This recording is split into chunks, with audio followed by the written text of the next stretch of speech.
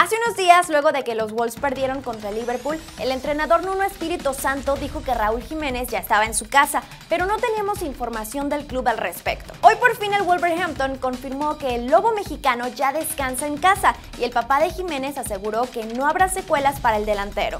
Tuve el gusto ya de platicar mucho, ya nos vimos, ya hablamos y, todo hace indicar, todo va en camino a que tenga su recuperación muy buena médicamente.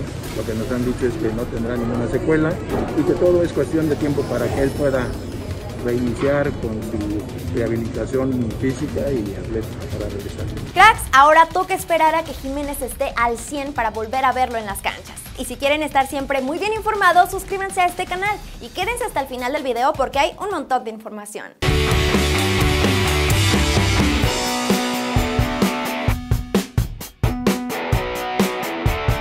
Se mueve el mercado de fichajes y Julio Furch, uno de los delanteros que en los últimos años ha sonado incluso para la selección mexicana, dejó a Santos para convertirse en jugador del Atlas. Furch dijo que él tomó la última decisión, pero deja ver que quizás pues no lo hizo tan convencido. En mercados anteriores he dejado pasar muchas ofertas y sentí que en esta podía ser una nueva posibilidad para mí, este, nuevos desafíos y, y el porcentaje la verdad no te lo tenía que decir, sí yo por ahí tengo que decir la última palabra y y es una decisión a la que te van empujando, digamos. Entonces eh, traté de, asimilarlo y bueno, de tomar la mejor decisión con, mi familia. Creo que, lo que se nos vino a la cabeza fue buscar nuevos retos y, bueno, eh, fue, fue difícil la decisión de, de dejar Santos porque el cariño, como te dije anteriormente, es, es muchísimo y me sentía muy bien aquí. Furch se convierte en el segundo fichaje oficial del Atlas tras Aldo Rocha. Dos nombres interesantes. ¿Cómo creen que le vaya al argentino con la rojinegra? Cracks, y en medio de todo lo que pasa con el Cruz Azul después de la eliminación,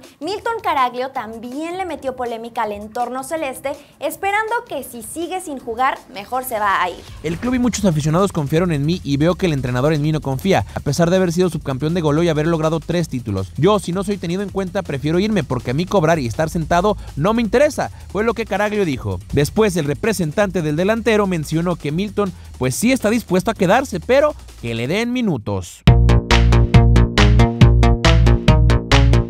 Mazatlán anunció que arrebataron al mejor portero de la liga para hacer oficial el fichaje de Nicolás Viconis. De acuerdo a David Medrano, de todos los jugadores prestados que tiene Chivas, solamente les interesa quedarse con César Huerta para el próximo torneo. Mauro Laines y Rubén González dieron positivo y no podrán jugar la Conca Champions con el América. Alfredo Talavera ya entrenó con normalidad con Pumas y ya es opción para jugar la final. Mauro Manotas dejó al Houston Dynamo para convertirse en jugador de los Cholos acuerdo a medio tiempo, Elías Hernández es opción de Chivas para reforzarse. Y bueno, cracks, hasta aquí llegamos. Si les gustó este video, recuerden darle su like, compartirlo, seguir todas las redes sociales oficiales de Cracks Y suscribirse a toda la familia Cracks. Nosotros nos vemos muy, muy pronto.